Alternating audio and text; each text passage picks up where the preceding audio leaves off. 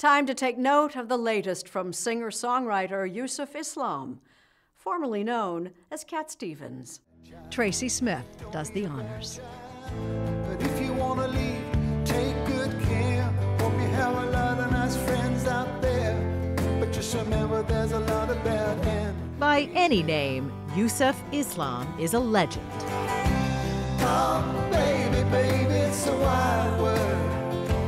The man who came to fame as Cat Stevens released this song 50 years ago from his masterpiece album, Tea for the Tillerman. Baby, baby, it's a wild world.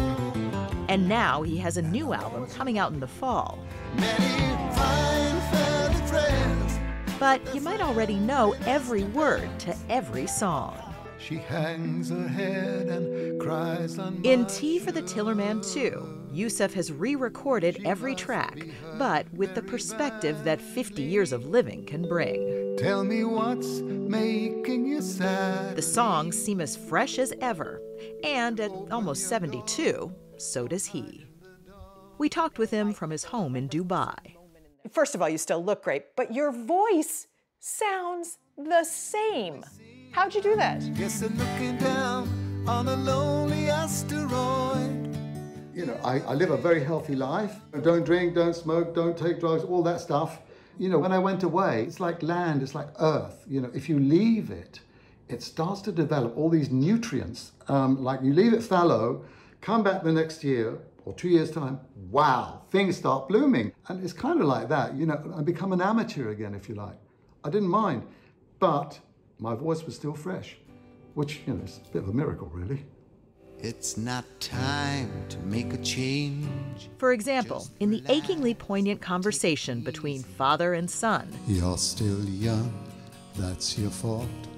the tracks were recorded 50 years apart, Find a girl, settle down if you want. and both versions are perfect in their own way. Look at me, I am old, but I'm happy. You're doing a duet with your younger self. What's that like for Yusuf and Cat Stevens to be together? He's great. He, I love working with him, honestly.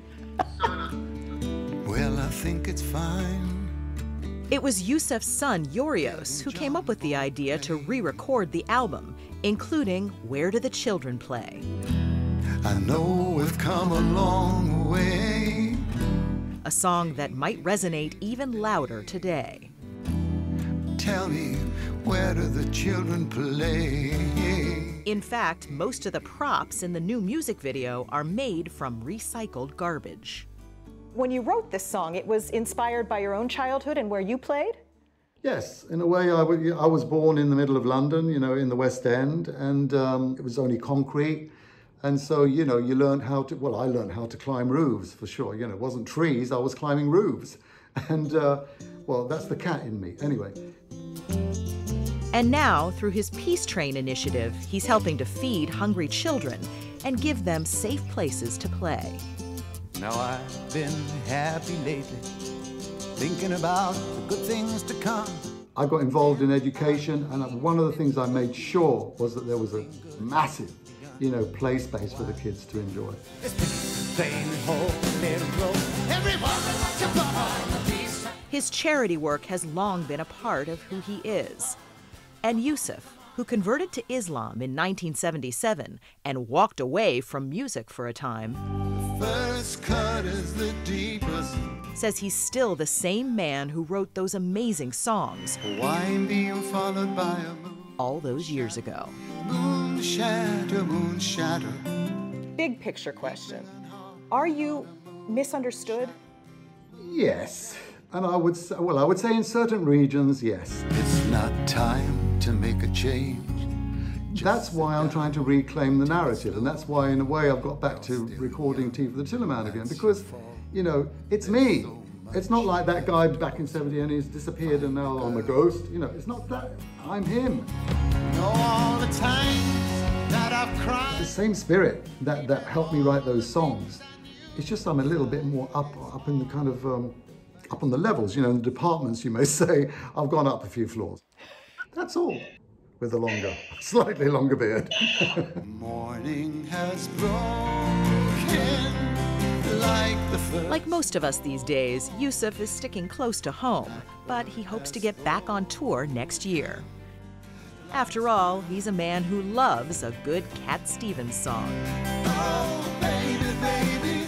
almost as much as the rest of us. And I'll always remember you like a child. Everyone has a story about Yusuf Cat Stevens song that affected their life, that they remember from a certain moment in their life. How does that affect you hearing all of those things? I'm incredibly honored. Because when you're doing something when it's really honest, it does have a lasting effect. And I think music, generally, it enables us to unite on a thought. Strange sounding loud and on the 10,000 people in an arena, you know, listening and uniting, if you like, around a song. That's beautiful. That's great. And so it's a gift. It's such a gift.